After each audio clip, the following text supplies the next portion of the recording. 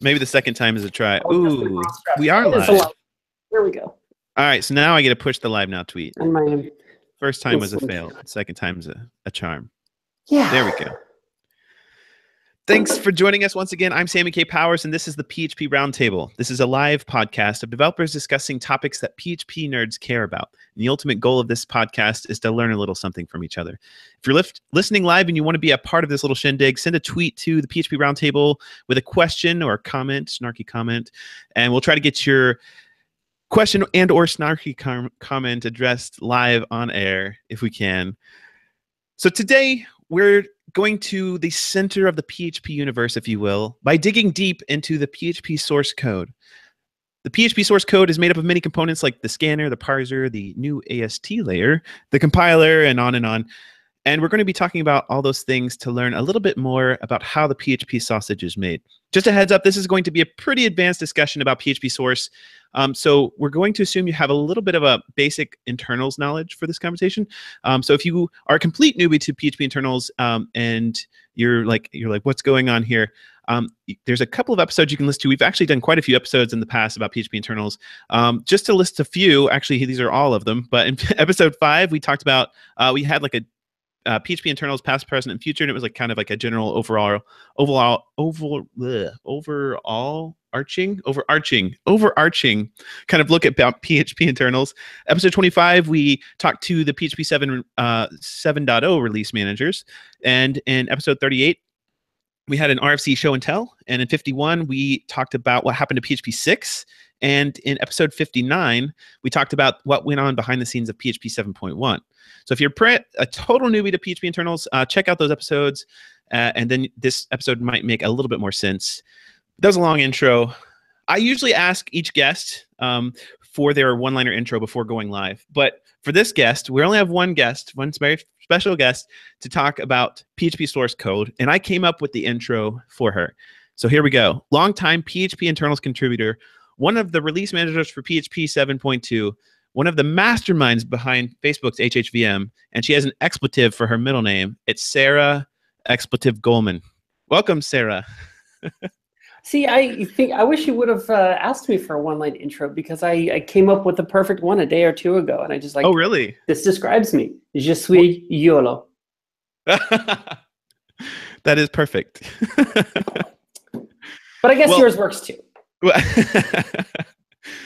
Um, I really appreciate you coming on again. You've been on quite a few times, and uh, we've gotten together and hacked together sometimes. You were in uh, Chicago not too long ago. We got to hack on the Mhm. parser a little bit um, and have some good times.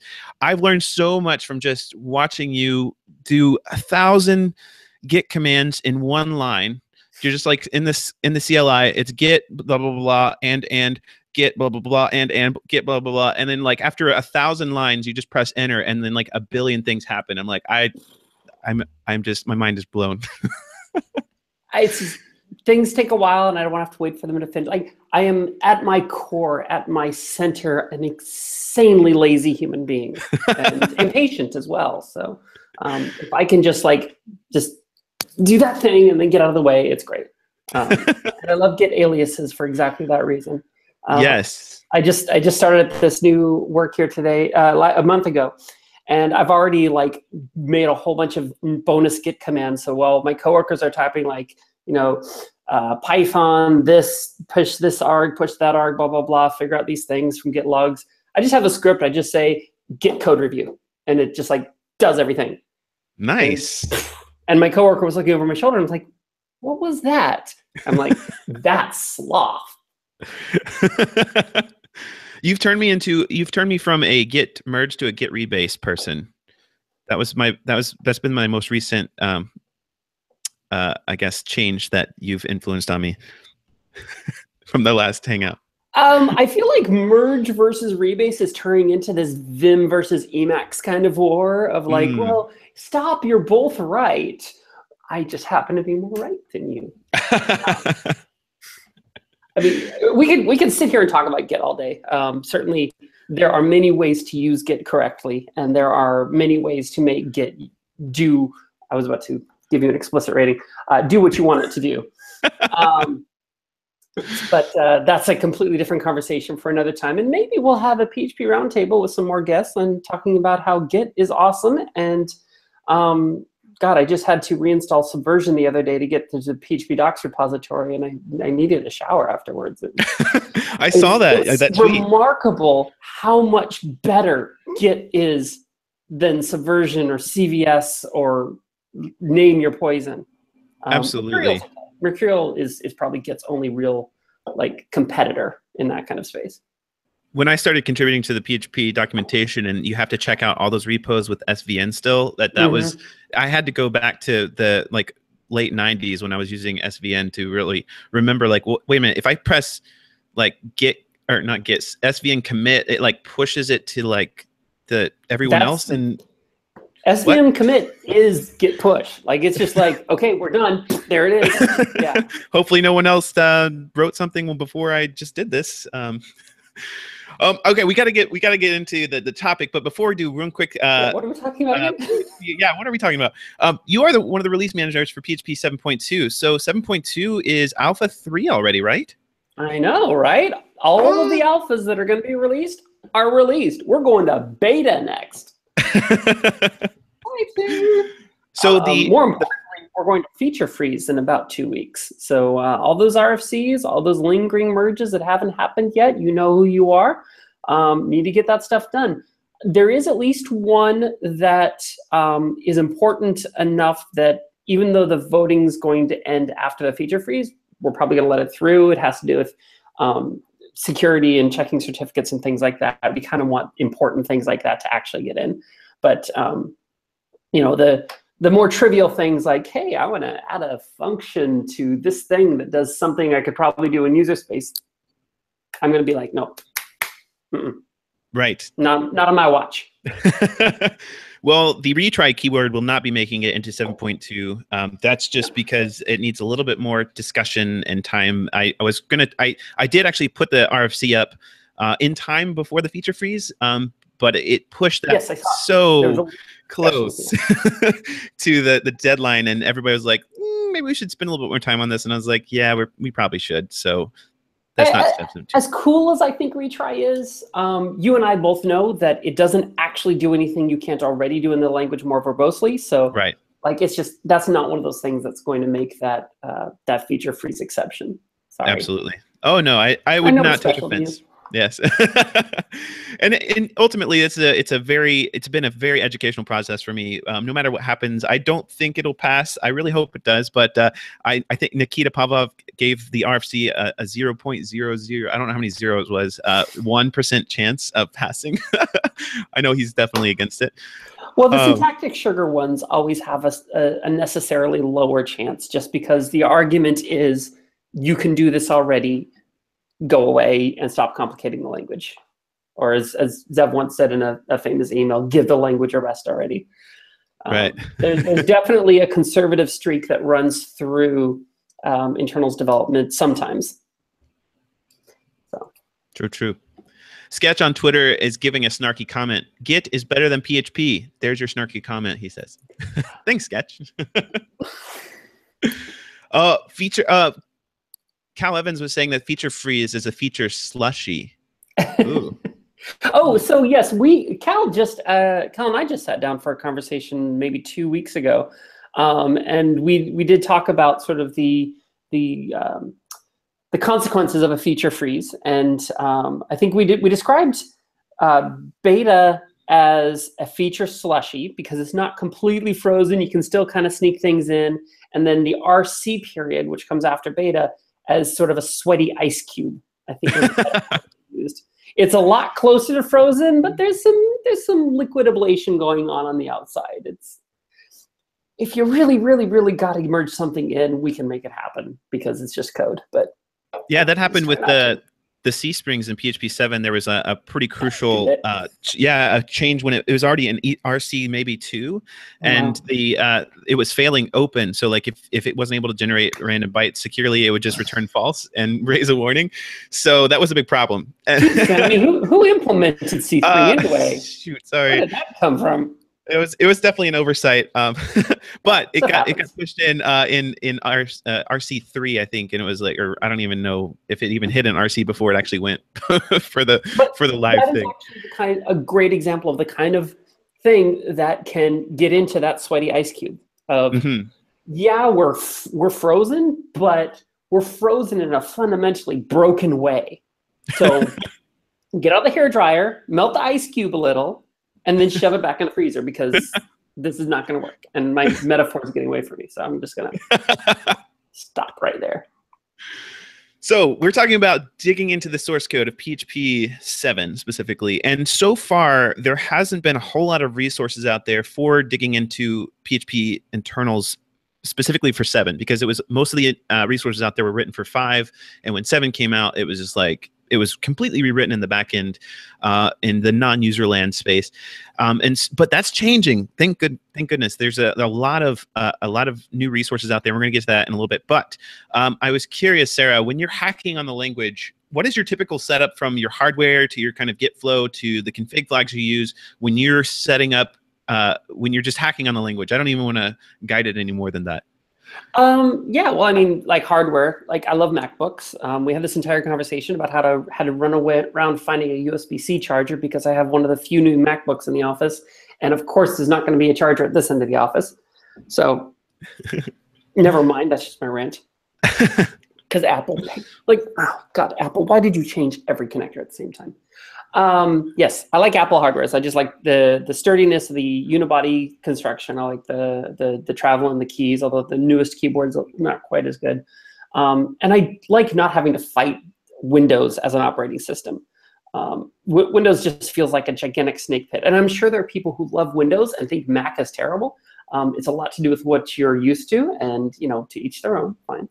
Um, but the typically the first thing I do because uh, OS X is not really proper Linux, Unix, X. Um, the first thing I do is I'll install a virtualization product, and typically that's VMware Fusion. I did try to use, I really, really tried to use VirtualBox this time um, because I'd actually committed a couple of uh, patches to some VirtualBox tools uh, last year, and like I wanted to like maybe get involved in proper VirtualBox development, but this, this, I've got stability problems that just it was, it was when it killed my Bluetooth bus for no good reason that I finally decided it was over. Um, so I do that. I throw Ubuntu onto there because Ubuntu is like, I love. I fell in love with Debian years ago, and Ubuntu is just like a Debian. Debian made better uh, in terms of day-to-day use. Um, Debian, of course, is a little more pure. It's the source for all new package imports into the open source ecosystem, but um, I like Ubuntu. From there, it's all about what I said before, and that's sloth. It's like give me some git config aliases, give me some um, bash aliases, give me some um, you know scripts that do my most common tasks. You know the XKCD cartoon of like how long you spend a task, how long you're allowed to spend automating it before it uh, becomes not worth it.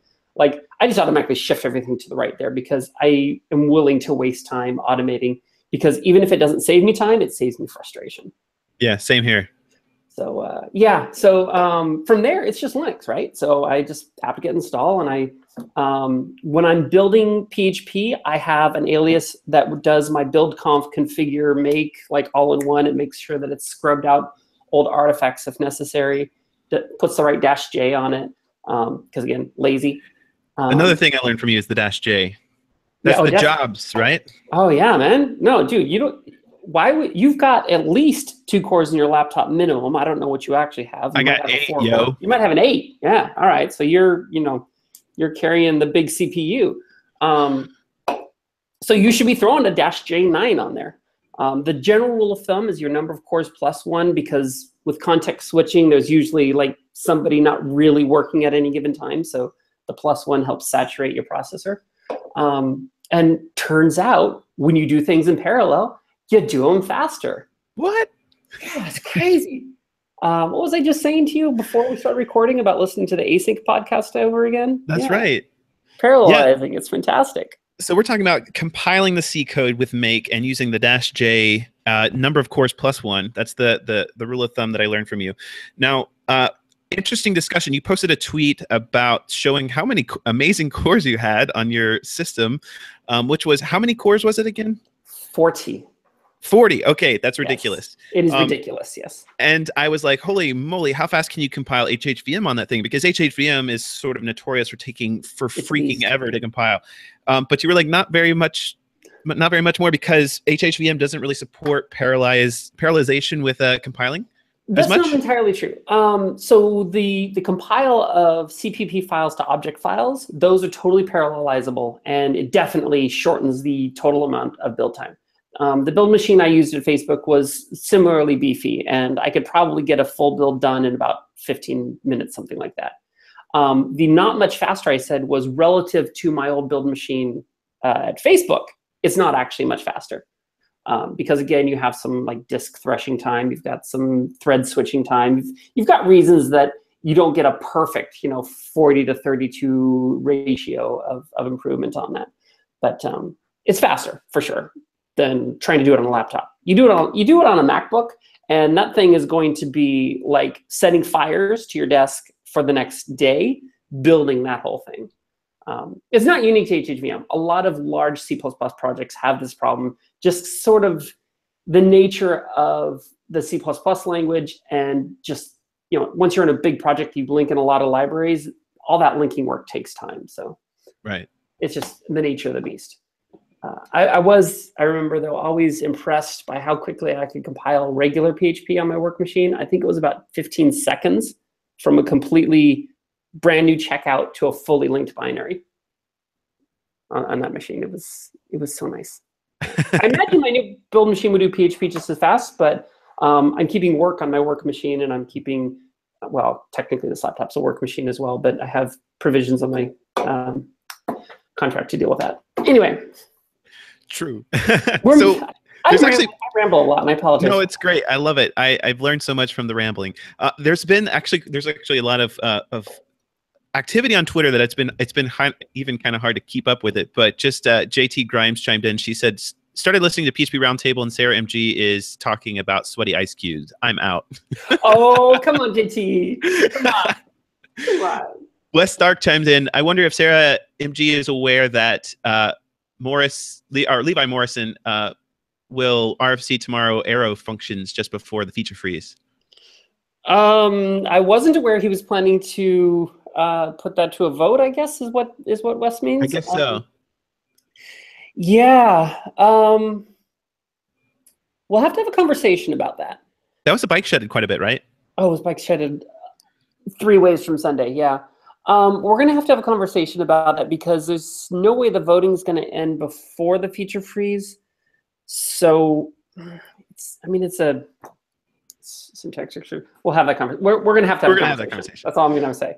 Yeah. Sketch asked a question: Is it better to use um, the PPA from on?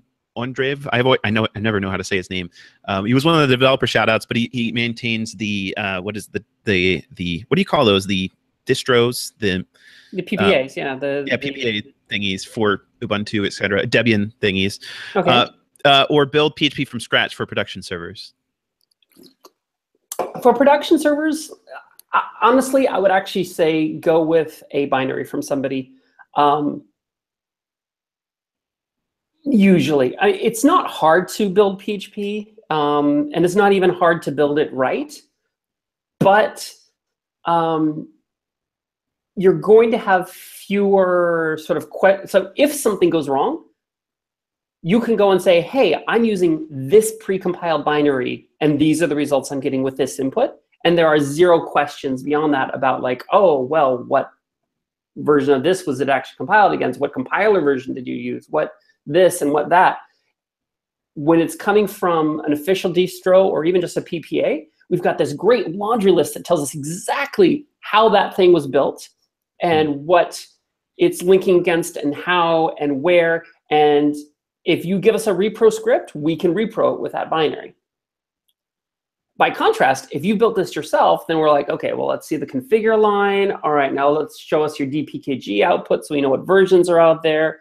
Now actually show me an ls of this lib directory to make sure that that's actually reflective of reality. And it just, there, it makes diagnosing problems so much harder when you're working with your own built binary. That's not to say you shouldn't do it, but bear in mind that that is a potential issue that you'll have to address. Well, speaking of building uh, PHP, since PHP is written in C, you you would expect the typical compile from source, the dot forward slash configure, then the make, then the make install. But you can't just do a dot forward slash configure out of the box with PHP because the dot configure or the configure file doesn't even exist. Why? That's not entirely accurate. Um, it does not exist checked into Git, and I think I'm getting kicked out of this room. Okay, um, we might have to press a pause button on this. That's okay. We're gonna Um, take that out in post. we'll take this out in post. But for all the Uh, live you viewers, they get to see a little tour of the office. Yeah, yeah. You want to see what the MongoDB office looks like? Follow me. um, let me just. Mikola's not in there, is he? Uh, I didn't see him when I walked by his area, but uh, That'd be great to have him on too. um. da-da-da-da, da-da-da-da, da-da-da-da, da-da-da-da. It's intermission time.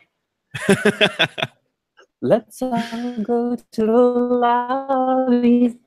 Let's all be. This is for the people stream. Uh, Why? You, for the sweaty ice cubes, but you missed the uh, song and dance routine.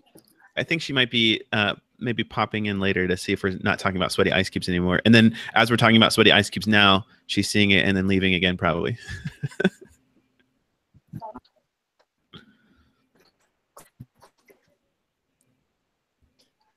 Uh, good times. I think you're kind of cutting out a little bit there. I wonder if it's just for me or if it's for everybody. That's why we record separately though, because in case this kind of happens in the recorded version, it will be nice and not uh not like all the whatever those what do you call those glitchy Yeah. sounds when it's a low internet connection? Uh, roboting is the term I've always used. Roboting. Yeah. It'd be funny if you could just go find uh, Jeremy No, Mikola's no. desk and just you know set up shop while he's I trying to about ready to just go into the restroom and can finish this from there. That's how I roll. Ah, here's a room. Yay! Ironically, back near my desk.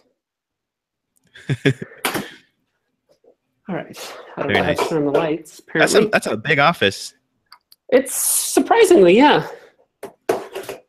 Um, part of that is just like corridors and hallways and weird places. All right, so where were we? Yeah, so config, the configure script doesn't actually exist. And you were like, well, that's not actually true. It's just not committed to the main repo.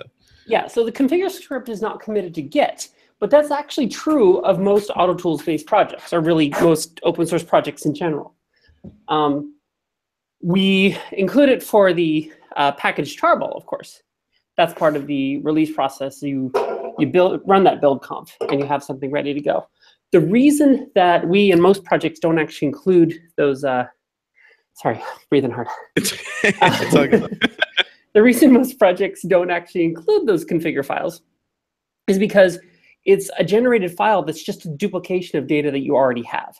So if you've got that checked in configure script and you've also got the source files, which are these config.m4 files, there's a real easy opportunity for those two to become out of sync Hmm. and for um, a later person running configure to wind up with something that doesn't actually reflect reality. So if we just say, hey, step one, run one script, it takes about four seconds, then we know that the script that's actually being run is always an accurate reflection of reality rather than a potentially somebody forgot to check something in. Um, we do the same thing with the parser, actually. The parser's source is not actually, well, the parser's C source is not actually checked into the repository. You have to run Bison, which is done automatically for you through the configure script, and that will turn the .y file into a .c file. We should do that for the scanner and the INI parsers and the variable serializers and things like that. We don't. Um, I think it's mostly just inertia keeping us from doing that at the moment. But every time I want to change the lexer, I get annoyed because I either have to not check in the generated file in my local copy, or I have to constantly fix merge conflicts every time I update. So So since you're speaking of the scanner and the parser, the PHP uses I always say this wrong because I'm slightly dyslexic, but it's RE2C. I always say REC2 or whatever. It's like I say uh, read to see, but yeah. read to see, read to see. Now that's the that's the scanner or Lexer, right? That Mhm. basically just takes all the keywords that it finds when it par- when it's looking through a PHP script and then assigns them just an arbitrary token that Yes.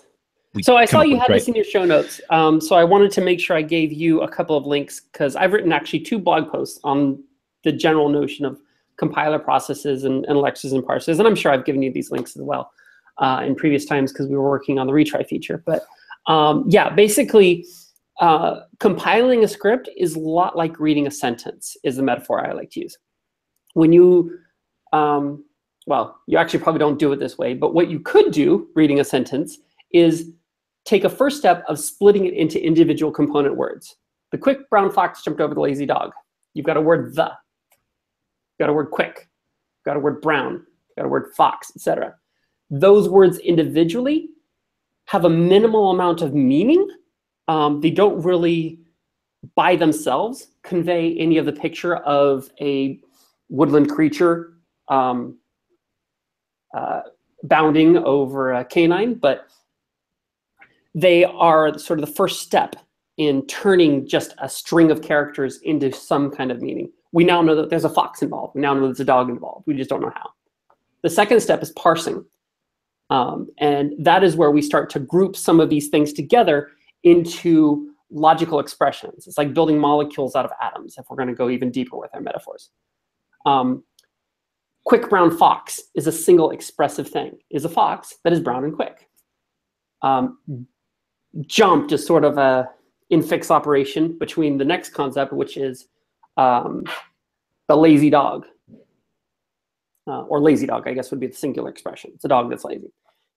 And then um, we move up a step and continue parsing that, and we start to group these things together into sort of a tree that describes what's happening in the sentence.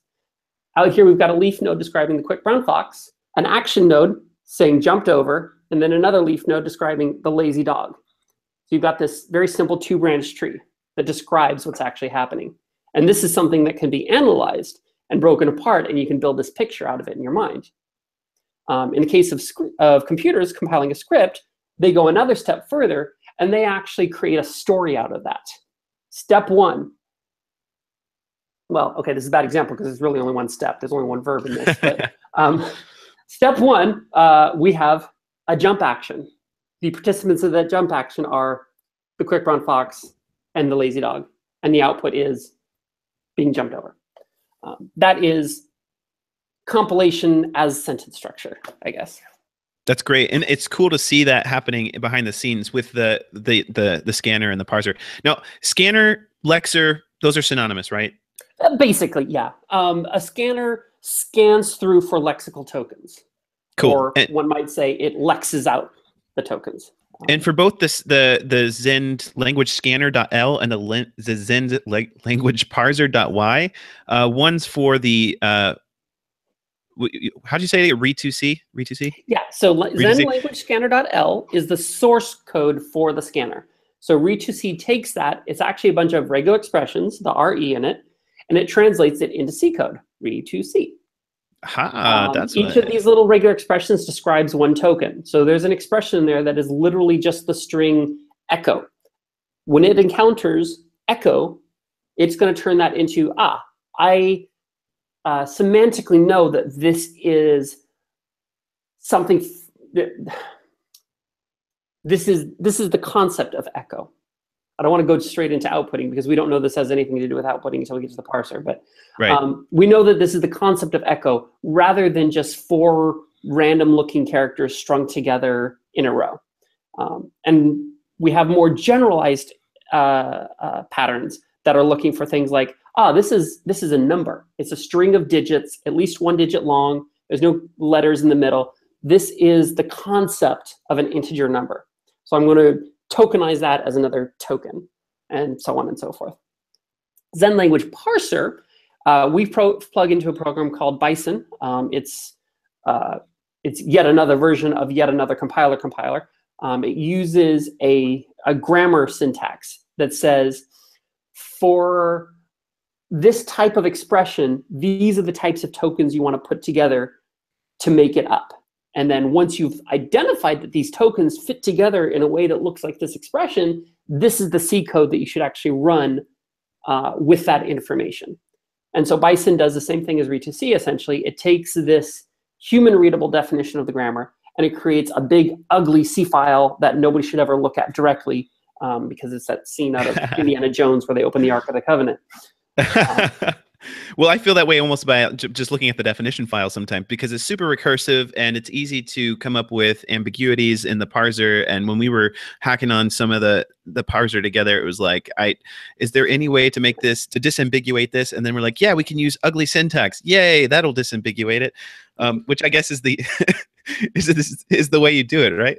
well, to continue abusing my earlier metaphor, if you're describing the quick brown fox, why wouldn't you describe the brown quick fox? Isn't that valid? Well, depending on exactly how you define your grammar, grammar, it may or may not be. Turns out in English, it's not. No one would ever say the brown quick fox because English has this um, basically unwritten rule that mm-hmm. says um, this adjective has to come before that kind of adjective. Um, and there's this there's write-ups you can read about this. It's really crazy because we all do it instinctively and nobody realizes why. Mm-hmm. Um, the grammar is going to have those same kind of rules in there, and it's going to say, okay, an addition means we got to have some some type of expression, the plus operator, the plus token, if you will, and some other expression. Those expressions in turn could be other additions. They could be uh, function calls. They could be anything. Oh, wait a minute. We also want to deal with uh, unary minus or unary plus, for example, would be a better example. Um, a unary plus would be like if you want to say dollar $x equals plus 5, that's a completely valid expression. But plus now has two completely different meanings. It can be a prefix operation on a single number, just to say this number is positive. I'm, I'm reaffirming that this number is positive. But can also be an infix operator on two numbers to say I'm adding this one to that one. How do you disambiguate which ones those are? Well, fortunately, we have this other expression coming before, and we actually have some rules in the lexer to help us get around that. Um, it is it is a fundamental, simple, basic core rule in the language. We actually have to kind of do a little bit of gyrations to get around it. Uh, because it turns out parsing language is hard, and it's amazing that our parietal lobe, or whatever the hell part of the brain actually manages it, does such a good job. So where were we? so so the so we're looking at the the lexer and the the parser um, and they are the definition files. They're not the actual it, i guess it would be technically correct to say that that is the lexer and uh, or or the scanner and that is the parser. It is the uh, the the scanner generator and the parser generator right? Bison is the generator? um, i think you'd be forgiven for using either definition there. Um, the the Zend language scanner l is the lexer insofar as it defines every part of the lexer's behavior. Um, it is not the lexer in the sense that it is not the thing that's passed into GCC to compile to a program, but by the same token, is a C file really the program? No, it's the binary output. That's the program. I mean, you could have this conversation as far down the stack as you want. Uh, personally, I would call .l the lexer. I would call .y the parser, and I would just leave it at that much as I would call Zend compile.c the compiler. Right. Well, speaking of the compiler, um, yeah, you these, like that segue? Yeah, great segue.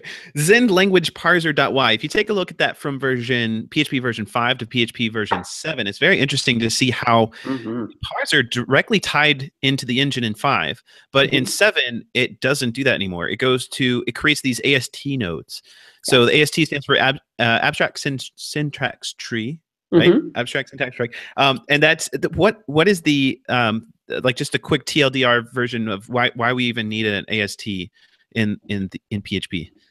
Well, like you said, in PHP 5, we didn't have this. Um, the parser, as you said, would just take these expressions, and as soon as it saw something irreducible, like 1 plus 1, it would say, fine, fine, great. Give me an opcode. Give me an add opcode. The input operands are 1 and 1, and the output operand is whatever the heck it is, and that's going to go to the input to, the, to whatever is consuming that. Great, done. Um, this is a, a, a quick and very efficient way to write a simple parser. The problem is it doesn't give us a lot of opportunity to analyze the the the program or even the scope as a whole and see things like, well, you know what? Actually, we've got this expression maybe that's um, one plus a dollar a plus two. Um, a simple compiler has no choice but to actually create an add opcode of 1 plus a, and then create an add opcode of the result of that plus 2, and then create a result of that. So you have two actual adds. A, an abstract syntax tree allows the compiler to look at that and say, hey, you know what? Adds are commutative, and I've got a constant over there, and I've got a constant over there. Let's fold those together and then create just a single add of 3 plus dollar $a. It has the exact same meaning, but we're now doing it in half the amount of instructions. Um, that's a completely contrived example. I don't think we actually do that specific example, but that sort of ability to um, look at the script from a uh, from that tree standpoint, like I described the sentence structure, um, is something that the AST gives us in a much better way than um, just bytecode output gives us, because bytecode output erases a lot of the contextual information that we used to have. Now, with the new AST layer, you also get the ability to do um, what I think, uh, who was it? I think it was um, Elizabeth Smith was saying that you could do very evil things with it. And in fact, mm-hmm. you last time you were in Chicago, you showed me a little evil thing you were working on. I don't know if you want to announce it officially, but you you showed me a little something that uh, you were t- you were you built an, a special extension. Um, are you talking about AST Kit? I th- it was it was something. I think it was something else. Um, are you talking about a FAC?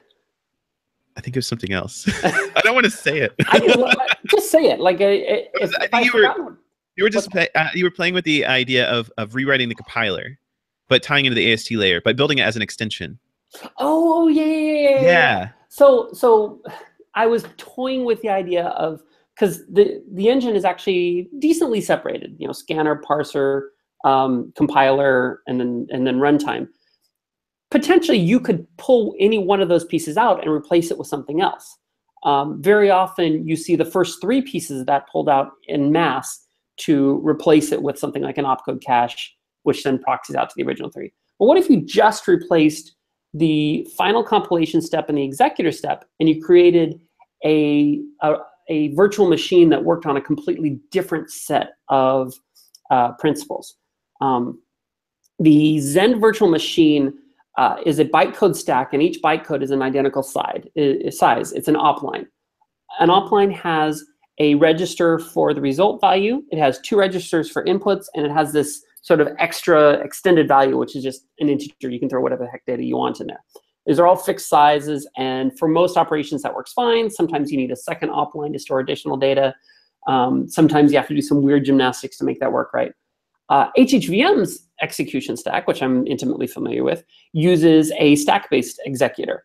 So instead of saying something like, here's my one op line that says add results one plus one, you would say push one onto the stack, and then push another one onto the stack, and then uh, execute the add operation. It'll pop the top two values off the stack and push its result back on. Um, it's a completely different approach to a virtual machine runtime, but also a very valid one. They're both very valid approaches. I'm not saying that one is necessarily better than the other, but I was really eager to sort of experiment with that and see how far down that road I could get. Um, I think I got distracted by work or other things, and I just kind of stopped playing with it. But um, it could potentially um, either speed PHP up or slow it down or make no difference at all. It's hard to say until we try. So it would be actually changing the VM and not the compiler. Then uh, is what you were. Well, it would be it would become so the compiler is technically three pieces. It's that lexer parser, and then the compiler is the part that takes that AST tree and turns it into bytecodes. So it would be cr creating that third stage compiler, uh, altering that third stage compiler, and it would be altering the um, the executor, which is that the, the fourth stage that we haven't really talked much about, the part that actually takes the bytecodes or whatever else and, and actually makes it do stuff. And that's so the VM, well, right? Yeah, the VM, yeah. The VM, the runtime the virtual machine slash executor slash whatever you want to call it. Now that's that one's been I think of all the components when I was going in there and, and, coming up with an implementation for the retry keyword with you and some other people, the VM uh, surprisingly was the part that was kind of harder for me to grasp a little bit. Mm-hmm. basically, it's just converting all your beautiful um, object oriented code into a bunch of go tos, right? And then the VM's just saying go to this, go to that, or the compiler kind of sets up the go tos, I guess, and the VM just runs them. Um, I mean, the, there's go tos involved, but um, mostly. So, okay, how, how deep do we want to go here? Um, let me give let me give some history on Zend's executor, and I think that might help make its modern executor make a little more sense. Um, the executor for PHP 4, I'm not going to go earlier than that. The executor from PHP 4 was basically one huge, massive switch block. And it just said, all right, so we're on this op line. What's the opcode? If it's Zend add, do this. If it's Zend sub, do that. If it's Zend mul, do that. On and on and on, down the list, down the list. Big giant uh, switch block. And each particular block is going to say, okay, I'm adds. So give me my first operand, uh, convert it to a number, give me my second operand, convert it to a number, put them together, store the results in a temporary. And then a gigantic while loop that just runs through each bytecode one after the next after the next. Uh, PHP 5 adopted the call VM, and this is basically the same structure, but this time instead of going through that big switch block and saying, are you this, are you this, are you this, are you this? Um, what we did instead is we uh, gave every op line a handler field. This handler is a callback pointer. So when we get to the op line, we just say, call the callback pointer and here's your data. And the callback pointer says, okay, um, the function you've actually just called is the Zend add handler.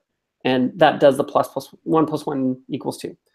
Um, that's mostly the VM that we're using today-ish.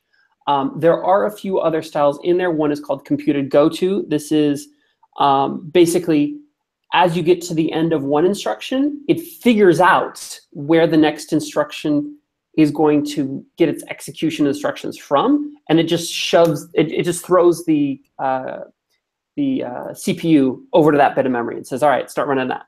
Um, what we're getting in, I think it's in 7.2, is uh, what's called the hybrid VM. I don't know if we actually made that um, permanent or not. It's sort of halfway between that and the call-based VM. Um, it's uh, so far the sort of the winner in performance between all these different uh, execution styles. I forget what the original question was. I just kind of got on this rant of like the history of it. Um, well, what, what was the question? Well, I, well, I was actually wanting to kind of go on with your uh, with that idea because I, um, the like trying to wrap your head around the VM basically is the, is the original idea, but like the oh, yeah, yeah, yeah, but like having uh, but once you're in the VM, you have like you have access to these these things that the compiler is actually already um, kind of compiled down. So opcodes, I guess, right? You have the op line, and you can access the opcodes through the op line, right? Um, and and the op opcode is is based on a struct that has, like you mentioned before, you have op one, op two, and then result, and then you have like an extra like extended value like mm-hmm. piece of data there. Um, if you uh, one thing that kind of was kind of hard for me to wrap my head around with with implementing retry is that when we were when we came up with the the syntax for retry at the block level, it actually had at the AST la- layer like five child nodes, which is more mm-hmm. than any other node. no other um, there's no other syntax in PHP that has five ch- children. It's only the right. four is the most, and so that was actually one of the bugs seg, seg faults that I kept running into, and I, I, had to figure out how to like shift the bytes over to make it accept five ch- children or whatever in the AST. Oh, but that, but the this the what was what was kind of throwing me off is that since I only have access to op1, op2 result and extended value, um, op1 and op2, I could, you know, move some data around in that. And I could also use extended value to move some data around. But I also needed to like convey certain other data that I mm-hmm. couldn't put into the opcode or into the op line. And so I think is the the answer to like where that data goes is just create a hash table and then use extended value to reference somewhere in the hash table or it really varies depending on on situation. And I'm going to pop off the stack a little bit there and talk about your retry uh, AST type. Because your retry AST type, as I recall, it had basically um, where the try block started. So basically where it needs to, to jump back to was encoded in there somewhere. Um, you had the um, number of times to retry had to be encoded in there somewhere. Uh, was there something for like an exception type? Yeah, um, is basically I, I, figured out that um, after toying with it even more is basically just hijacking the catch block and adding like two new features. It's adding like uh, the number of attempts and the number of times you want to retry. Um, basically, so and and when I was doing that, the catch was already taking up all all the all the things. Like it was already using all of these these extended values. It was using op one and op 2 Mhm. and I had nowhere else to put like, well, where do I keep track of the number of attempts that they've done so far? Where do I put the the the number of attempts it should do? Like that was that was where I was kind of running into my issue. So I think the interesting thing there is that um, the op codes you get, these are read-only things. So your particular retry feature, it needs to have this sort of temporary variable of like, well, how many times have I tried? Right. Where do you store that? You don't have a variable to store that in because you're not defining like a dollar X or something like that. You can't just arbitrarily create an X variable in the in the symbol table because maybe that's overriding somebody else's variable. Even if they name their variable null byte, null byte, don't write it here. Sammy will be mad. Uh, one, two, three. Like maybe they use that variable. Nobody knows. Um, so you need somewhere to store that, and I think that's probably what um, you're likely to have run into as the biggest difficulty there because we don't actually have a notion. Well, we don't have a good notion of virtual variables yet. What we do have is this temporary variable um, structure that is in the current execute data. And current execute data um, has a number of things in it, one of which is sort of this lookup between um, simple variable numbers, compiled variables as they're called, and their actual uh, place in the symbol table. And they also have this sort of packed C array of Z zvals for certain temporary values that they're going to store.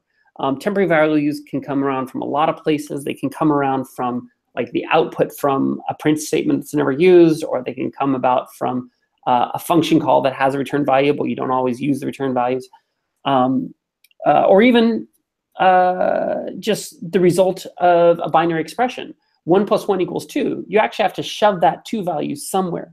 You can't put it on the op line because that is a um, runtime specific value. So you have to put it in this temporary storage in the current execute data and tell the op line it's in storage spot number seven. Go and get it from temporary storage spot number seven in your current execute data. And then the next op line can say, hey, I need temporary number seven. Oh, its value happens to be two. Okay, great. Um, so your retry needs something like that. It needs a temporary that can persist across multiple VM calls, which is also something that temporaries are generally not designed to do. G- temporaries are generally designed to be created and then consumed in the very next opcode or within a fairly short distance of opcodes. Um, your temporary needs to be updated constantly, so you have to do some slightly different things. I, I don't think we can actually really explain that over the course of a podcast. right. Um, it gets pretty deep, I think. but yeah, I mean, most the, what's really important here though is most of the operations in the Zend engine get by just fine with two input operands, um, because most operations you do are fairly binary to some degree. Um, even a function call, the way function calls work is that you say, start initializing my function call in one opcode. I'm calling function Bob, and then start sending parameters into that function call. This is where the argument list comes in. So we say send argument zero, it's dollar $x. Send argument one, it's the number five. Send argument two, it's false. And then we have a final opcode that says do the function call. So we actually execute the next function, and the result of that opline becomes the result of the function call. So if you plan out how your your feature is going to work correctly, you generally aren't going to need more than those two inputs. Um, I say generally, and I keep qualifying this because we do have a very small number of, of actions that do require multiple opcodes. And we do have this special opcode called Zend op data, which should never be executed. It should never even be reached by the executor because anything that uses it should automatically be telling the executor, hey, skip over the next one. We're not going to use it. Um, but again, that's such a big thing that we can't really get into on a podcast without writing on my camera. So TLDR, the the op line is an immutable data structure that you get by the time it gets to the VM, and so you don't want to write anything to the to the op line. You don't want to write. You don't want to change up any of the op codes. I'm. You, I think last time we talked about this, you mentioned that there might actually be an exception um, in in the engine somewhere where it actually um, there's there's some kind of structure or, or syntax that actually um, writes to the op line or something while when it gets to the VM, or was that am I thinking of something else? I'm not sure what you're thinking of because um, those bytecodes um, the op cache is going to store a copy of those bytecodes Right. and give out duplicates of it all the time. Um, and in order to save memory and save copying, they're not really always 100% duplicates. Often they're, they're sharing memory for values. And can you imagine one request writing to a piece of data that's used by another request? It would be madness. Right. Dogs and cats living together. um, so- well, speaking of the VM, there is uh, the Zend underscore VM underscore def.h. Uh, that is Mhm. also a definition file that is generated with none other than a PHP file. There's the Zend VM gen.php, which actually creates, which generates the VM Yeah, after you this is one change of the my definition file. This is one of my favorite parts about modern PHP is that you cannot build PHP without, Without PHP. PHP. yes. It's, it's eating its tail. Um, yes, so Zend VM def.h, that is, again, like we described the .l and the .y as being the lexer and parser. Zend VM.h is the executor. Um, it is the definition for what's going to happen. So you'll see every single opcode defined in there in its own little neat block, whether it winds up in a switch structure, which technically it still can, depending on how you call gen, or call or go to. Um, these are the fundamental blocks of how to execute opcodes in the Zend engine. Um, that Zend VM Gen PHP script is going to create a big, ugly, non-human readable C file. Um, sometimes you do have to read it. Your face doesn't entirely melt because it's not terrible. Um, but I think one of the uh, one of the interesting things that does is you'll see things like uh, const spec cv unused blah blah blah atta- in these macros. Um, every single opcode has the ability to specialize for different conditions. So we may have a uh, a continue handler that is specialized for the straight continue semicolon expression with no number. And then we'll have another one that it, so so that'll be called continue unused. And we'll have another full complete implementation written into the C file called continue uh, is const for handling like continue one, continue two, continue three. These can actually be two completely different um, bits of compiled code in the binary runtime, even though they're represented as a single block of code in this definition, because we put in these things of like, if op1 equals equals unused, the compiler, uh, after the generation happens, is going to see things like if unused equals unused, and it knows that that's a truth block. It always goes into it, and if op1 happens to have been is const, it'll see if is const equals unused. It knows that's always false. It elides that out completely, and you don't wind up with that code. So you wind up not having to perform these runtime decisions based on things you know for a fact at compile time. That's really cool. I think Julien Pauli had a blog post explaining the reason why we do this. And uh, if I remember correctly, it's basically kind of just like what you mentioned. Instead of having like a giant switch statement to like compare all the values and like what what are we actually trying to execute here, it just like makes hard hard coded implementations all the way down of every type of possible scenario instead of a giant switch statement. So you can you it's, it's basically an optimization feature, right? Yeah, la- last time I looked, um, for any given opcode, there were up to as many as 25 different compiled handlers. Um, this is kind of equivalent in C++ to using templates, basically. You will have an ins- it is const specialization of your template. You'll have a is CV specialization of your template. And they're all literally compiled as different bits of binary code, even though they all look like one bit of, of uh, source code. Uh, Aren't macros kind of the same thing? They're, they're pre-compiled little bits of code. Um, a macron is, is, is a very similar thing, but they are far less powerful than templates. Um, what we have in Zend VM Def H are using macros plus a PHP sort of transpiler that is literally just like looking for these keywords and, and doing its sort of own macro interpolation to mimic what you would get out of a template. Um, it's, it's different but the same. So this Zend Zend VM Gen PHP file, um, since it's like at the core of generating the very thing that runs PHP, I'm I'm assuming it's fully unit tested all the way through, right? Uh, its unit test is PHP. if it's broken, then it's broken, Well, right? I mean, honestly, what, are the consequences if it produces bad handlers? the consequences of producing bad handlers um, in, in the immediate are is that GCC may not even compile what it produces. Those are really easy to spot.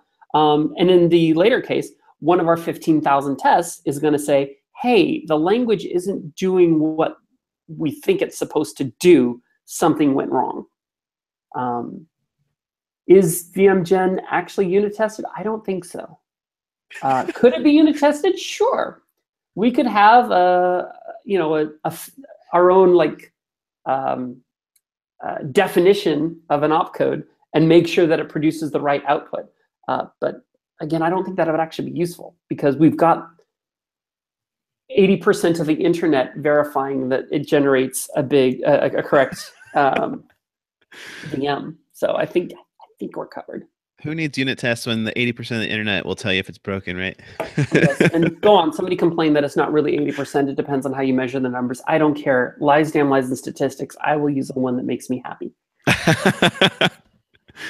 well, it's getting kind of uh, to the point where we have to wrap up a little bit, but I do want to actually mention uh, tests because you did mention we have 15,000 tests internally. That is a mm-hmm. lot. Another good segue. Yeah, excellent segue. Thanks for setting up all these segues for me. Uh, these tests, uh, they run pretty slow, right? Uh, running the entire test suite takes a while.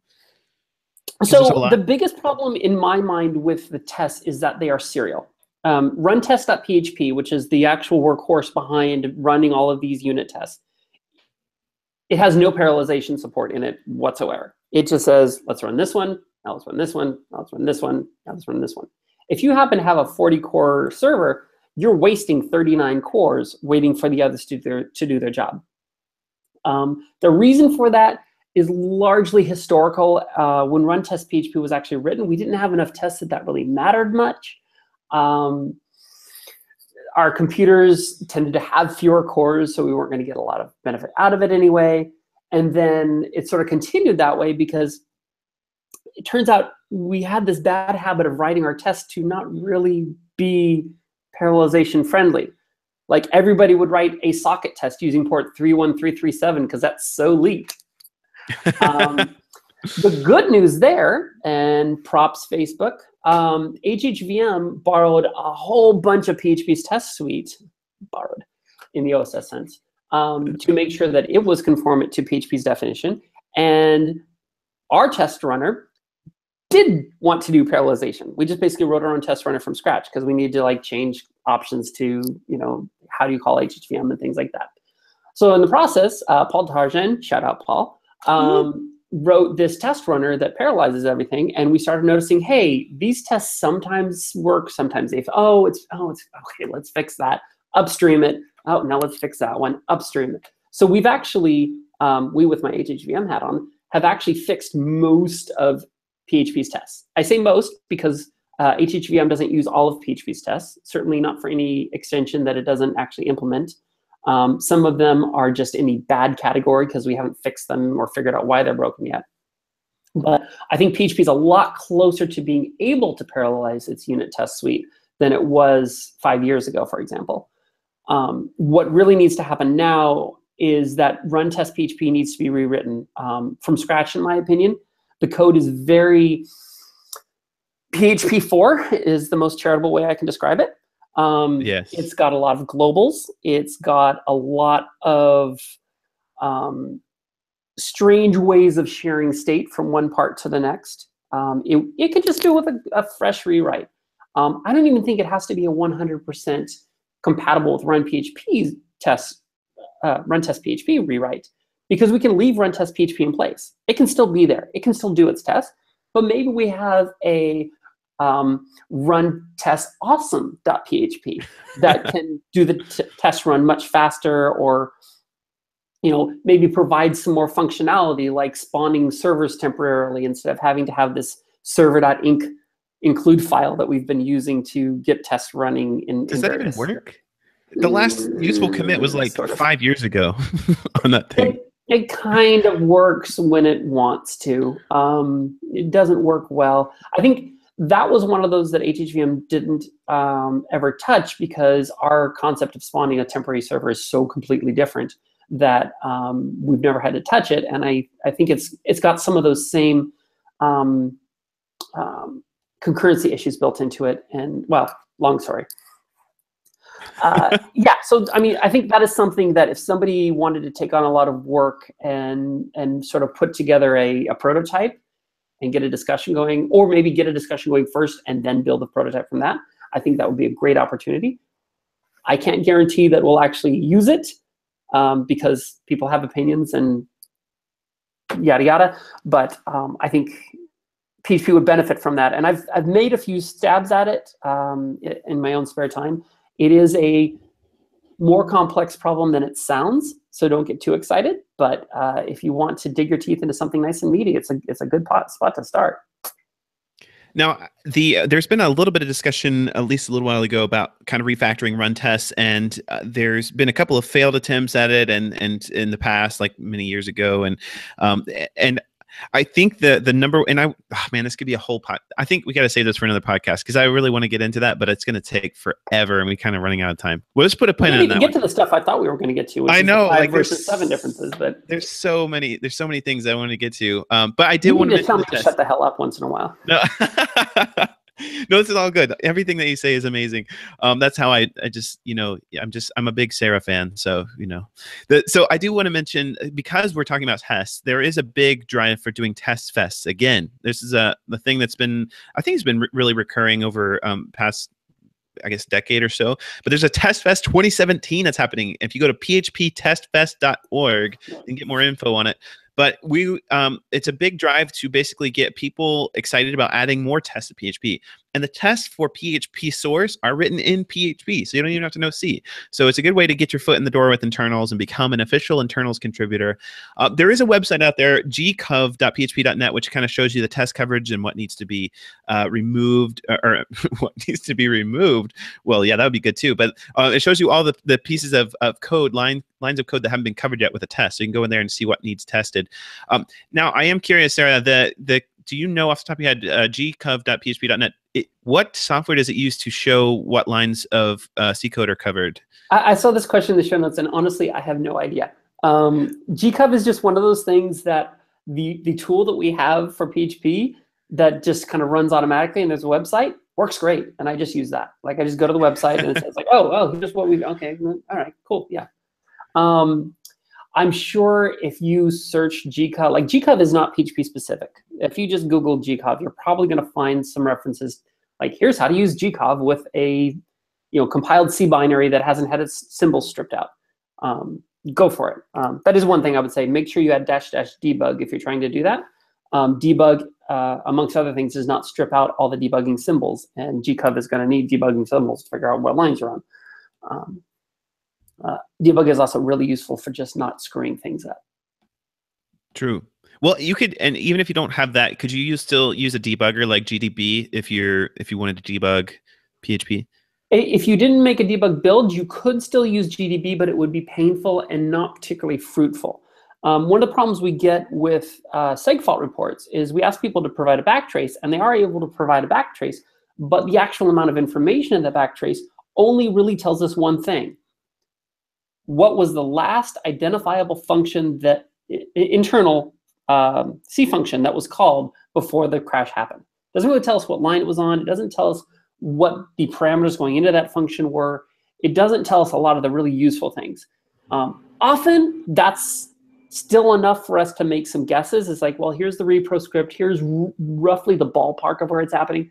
Uh, you know what? That doesn't quite look right. Okay, let's, eh, yeah, yeah, okay, that's it. Um, but not always.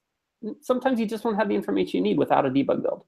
Um, and unfortunately, debug builds sometimes have a, um, a Heisenberg effect that things suddenly stop crashing. They just run slower. so. Well, GDB is one of those things that uh, collided with my Git aliases because I used to have a git alias. You know, you got like GS for git status, GA for git, git add, GC for git commit. I had one called GDB, which was git delete branch.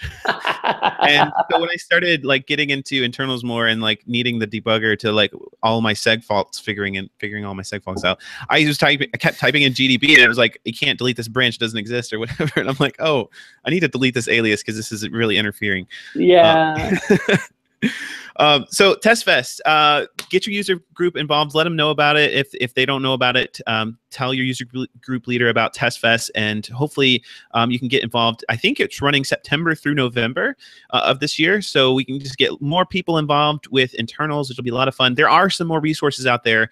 There is phpinternalsbook.com, which used to be just for PHP 5, but Julien Pauli has been busting his behind on getting some PHP 7 documentation in there. Uh, looks, oh my gosh, it's so beautiful to see this beautiful huge list of PHP 7 internals documentation finally out there. It's been needed for so long. It's brand new. Like just uh, some of these commits that he's been doing have been like literally like hours ago. So well, check out phpinternalsbook.com.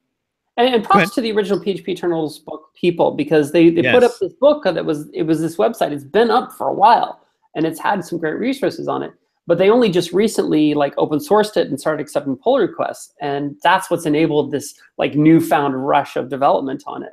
Um, and yes. so props to them for actually like agreeing with each other like yeah okay we can like get a license in there or, or modify it in a correct way to make it, it work and like let's just make it happen.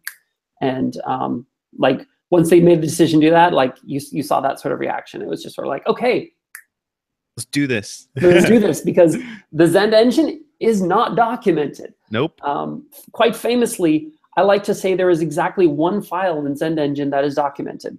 Um, ZendObjectHandlers.h has got fantastic documentation on every single handler for objects in PHP.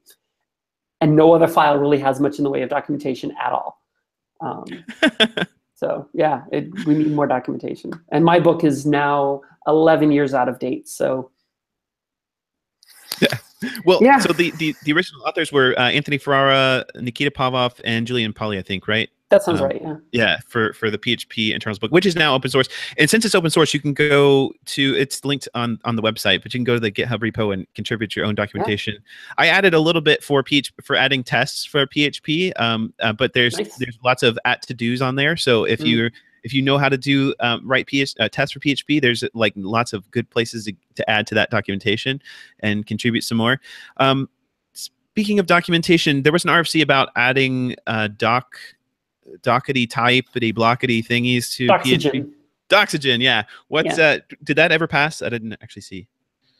Um so it's still in voting, and I believe okay. like I should probably just look up the RFC, but I believe the current status is slightly in favor of updating. Oh, sorry, no, I'm confusing that with a different RFC. I'm thinking of the class naming RFC.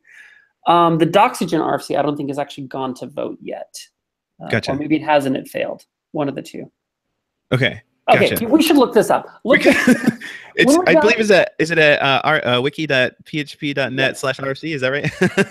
wiki.php.net slash rfc is where you're going to find it, and if you just you know Control F search on there or Command F if you're on Mac, um, you should be able to find um, Doxygen is declined. It has ah. been voted on and declined. So um, that doesn't surprise me a lot um, because, like, a even if it was approved, it's going to be a hell of a lot of work to actually go around and put all that documentation in. Um, in many cases, it's not adding meaningful documentation to what's already there because the, the methods are uh, a priori, like defining their types because it's C and describing a definition for a single method is a slightly complex thing because um, there's a lot of tight coupling within PHP that creates a lot of weird interactivity. And what you'll see if you look at the votes is people who have done a lot of work on PHP internals almost universally voted against this, and people who have not almost universally voted for it. And isn't that interesting? Yeah. Um, obviously, the the yes votes make total sense we want to understand how the engine works and documentation will help us. And I completely understand that. Um, at the same time, the no votes from people with experience totally makes sense because of the aforementioned um, issues with that. Right. So it was 11 to 16 against was the final vote. Wow, that's close. See that we did that live. Yeah, totally. Well, uh, I know you have. Uh, we need to wrap up and everything, and I know you have like some stuff that you got to get going to, and I do too. Um, but I do want to mention that Nikita Popov uh, also has a great blog post out there called PHP 7 Virtual Machine, which goes really into depth about the uh, the ex- executor. You say executor. I say executor. I think executor. Tomato, tomato. Yeah, and uh, his blog is at nikic.github.io, and it's like one of the first posts up there. It's a it's a fairly recent one. It's all about PHP seven. So if you want to dive in really deep, see how deep this rabbit hole goes because it goes deep. Uh, he goes into really depth on um, like exception throwing and everything. Like it's insane. Oh, yeah. Um, Nikita has some fantastic blog posts. Like, Yeah. if you have not read his blog and you're interested in this stuff, if you're interested enough in this stuff that you are still watching this podcast after the amount of disjoint rambling, like, totally check out Nikita's stuff. Um, I Nikita and I were actually fighting over um, uh, over chat last night, but man, I respect that guy's um, intellect and ability to um, translate that into explaining uh, what it is he does. Um, so, um, love Nikita. You know, Absolutely. love- I ain't mad, bro. Come on, bring it in. It in. That's how I feel a lot of times. Like even in open source world where there's like really just like strong opinions and they're polar opposites. I still feel like there's this, there's still the camaraderie there. That's a word I can never say right, but there's still Well, that. it- anger's ang- anger's a funny thing because it comes from um, a few places. It can come from fear, but it can also come from love.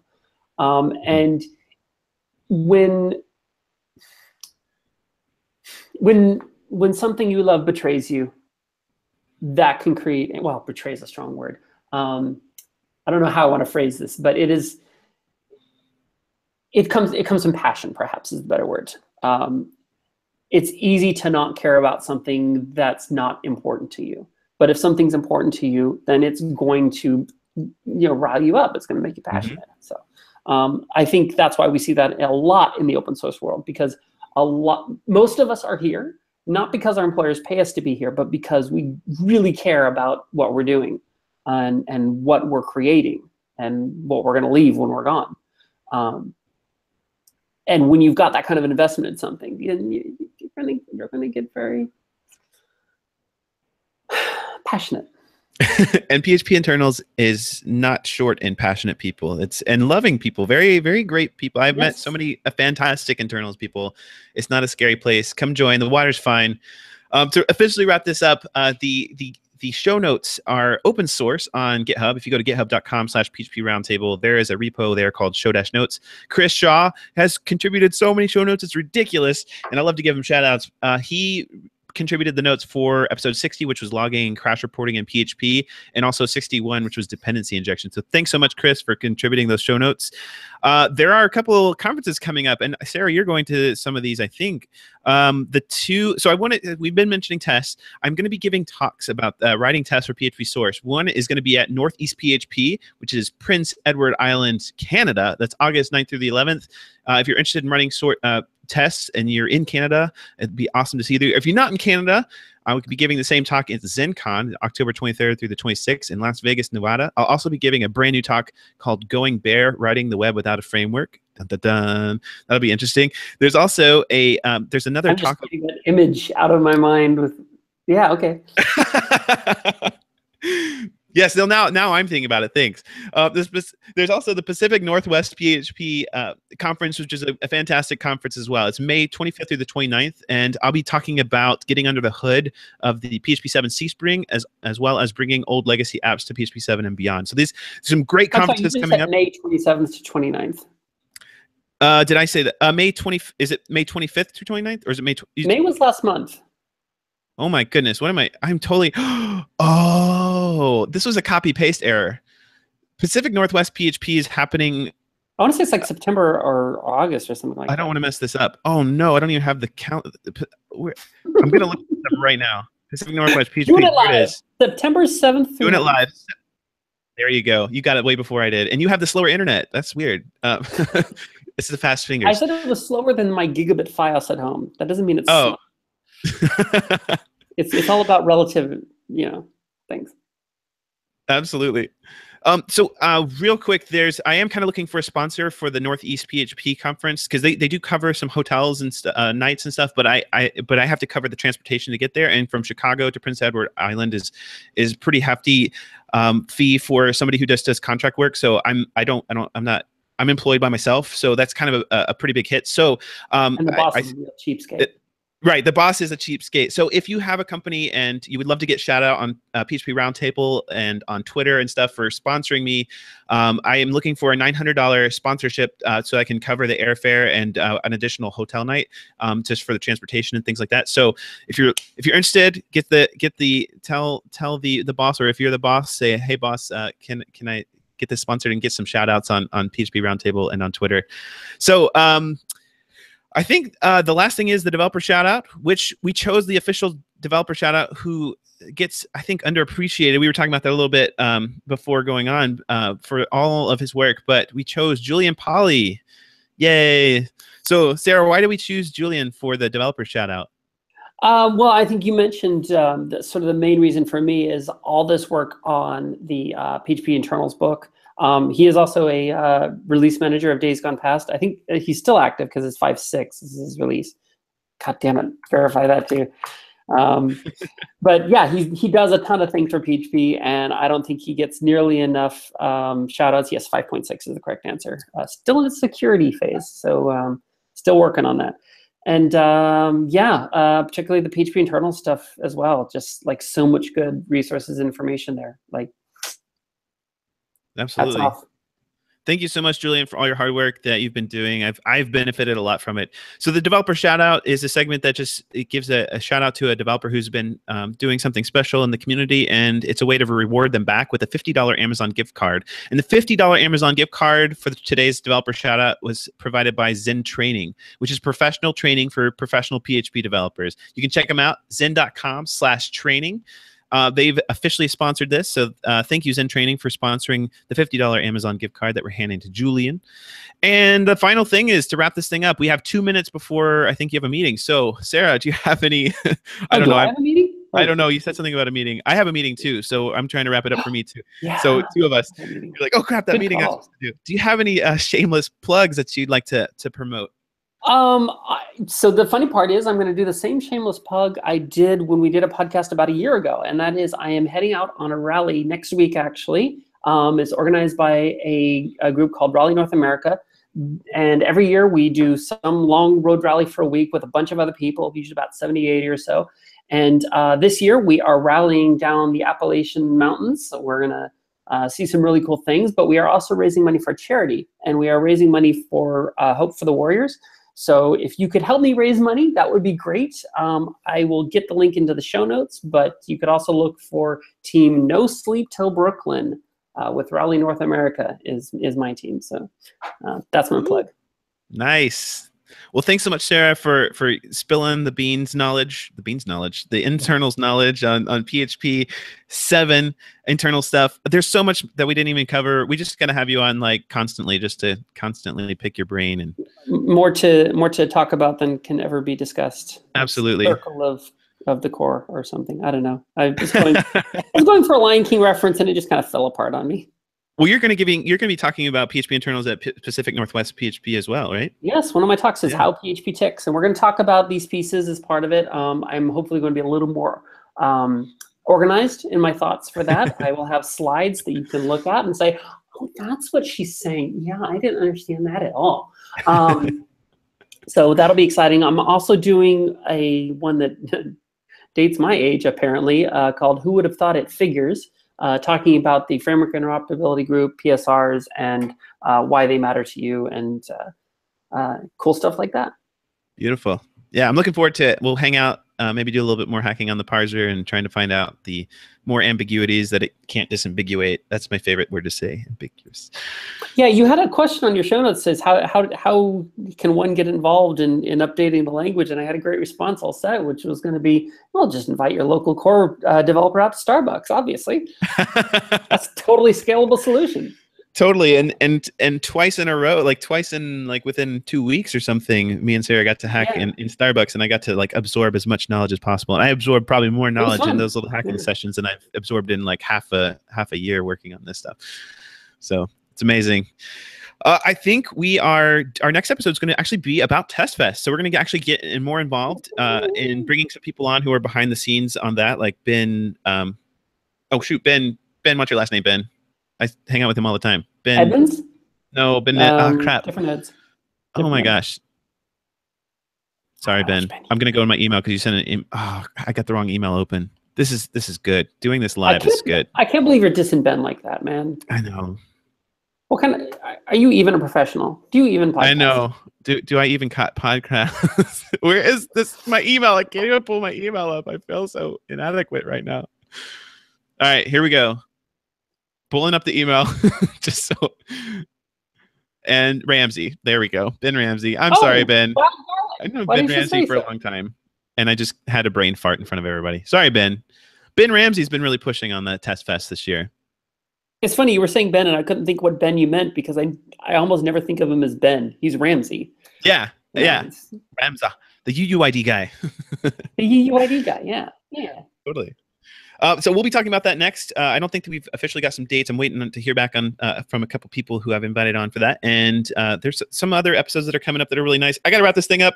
If you have anything that you'd like to share on the PHP Roundtable, just hit me up on Twitter. I'm Sammy K or ping PHP Roundtable. There's also if you go to phproundtable.com, there's a form on there you can fill out and be like, hey, I want to talk about this thing, or hey, it'd be cool if we talk about this thing, or hey, so and so should be on there. It's great. I love it. So thanks for joining us once again, and we'll see you folks in the next episode.